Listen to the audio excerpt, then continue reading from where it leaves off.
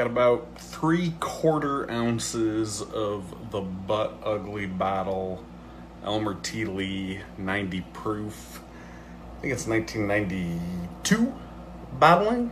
Uh, not much left, but uh, the good news is I've uh, I've got my eyeballs on a uh, new super premium bottle, so I can.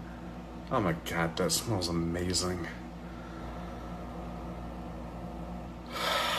It's vanilla, it's caramel, it's baking spices. It's about to be gone.